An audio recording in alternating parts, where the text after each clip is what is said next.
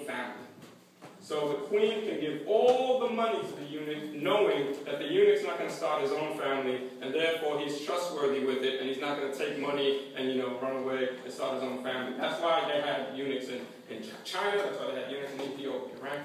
Philip somehow recognizes this, and he talks to him, and he asks him, the Ethiopian, "Do you understand what you're reading?" That's kind of insulting, but I, I get it. You know, if someone's trying to watching me read Spanish books, they probably might ask me the same thing about I'm pronouncing the Spanish a little off. Philip him pronouncing the Hebrew, it probably doesn't sound right, so we ask him, Do you understand what you're reading? The eunuch says, How can I if no one is there to guide me? Those are pain. That, that, those, are, those words are pain. You get it. If, you, if you're not allowed in church, right? You're not allowed in church because of how you are. And someone asks you, do you understand you're reading the Bible? One of the things you might say is, how am I supposed to understand it if the community won't let me in? So, he, he was speaking words of pain. How am I supposed to get this if there's no one to guide me? Philip then gets invited into the chariot, probably the first Mercedes he ever sat in. Right? He gets invited in, he sits down, they discuss the passage. What passage is it? It's Isaiah 53, which is the suffering servant, which is the passage that they used, that they felt was prophesying Jesus. Right? He's led, led like a lamb to the slaughter. He explains the passage to him, and he explains about the gospel of Jesus, and the eunuch, the Ethiopian, is quite amazed by it. And they're riding along in the chariot, and something new happens where he sees a body of water. And the Ethiopian says, this is so powerful, what is to stop me from being baptized? What is to stop me from being a part of your community? Philip is doing a new thing. They're new, they're Jews, but they're doing something new, and they're still figuring out. They're trying to figure out who's in and who's out.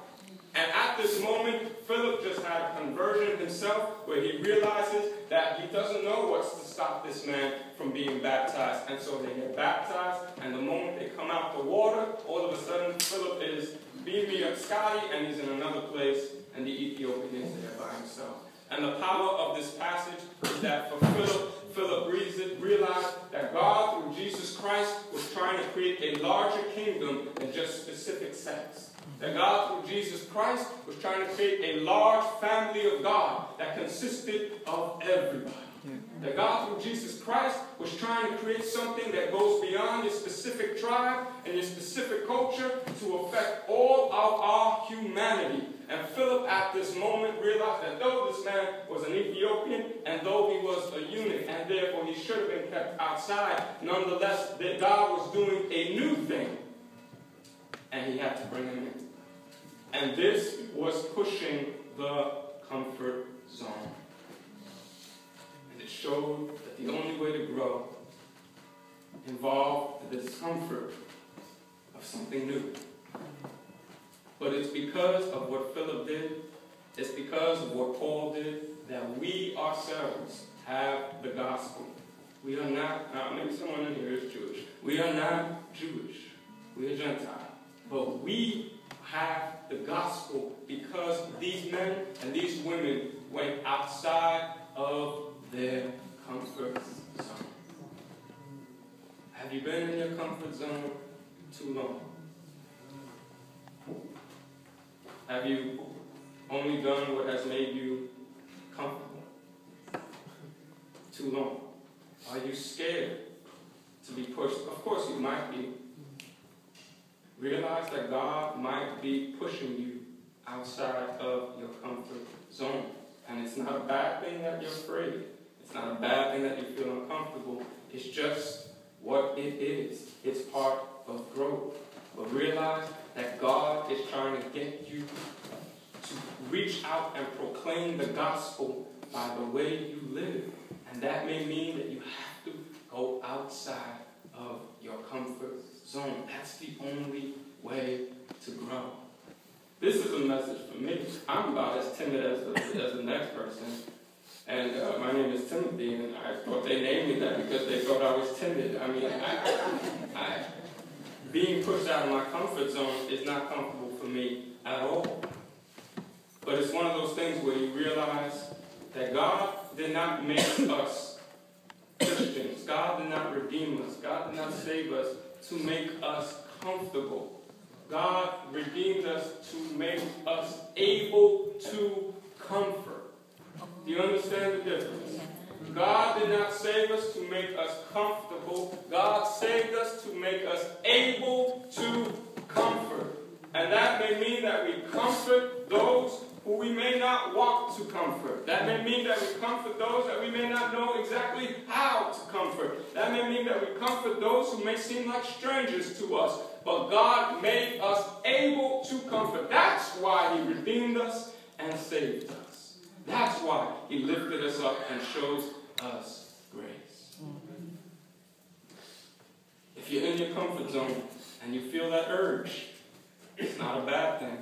That may be the Holy Spirit. If you're in your comfort zone and you feel like something is bugging you, that you need to get out of your comfort zone, that may not be fear, that may be God. If you haven't applied for something because you feel like you don't want to be rejected, if you feel like you're being pushed out of your comfort zone there, that may be God. If you haven't talked to someone because you don't you fear the conversation, but you still see them in the back of your mind, and you know that you probably need to have this conversation, and you don't want to have it because you know it might be discomforting and you know it might be painful, well, God may be the very one reminding you over and over to pick up the phone and give them a call. Have you stayed too long in your comfort zone? If you have, you might be stopping the very growth and healing God is trying to bring about in your life, in your family's life, and in this church's life.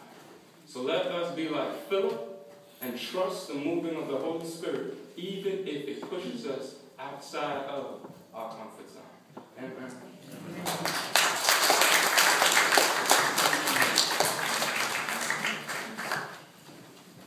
Amen. Let us pray. Oh God, we just ask that you help us to realize the power of the gospel that saved us and redeems us and help us to realize that we cannot just hold it for ourselves and hold it for those that we want to hold it for.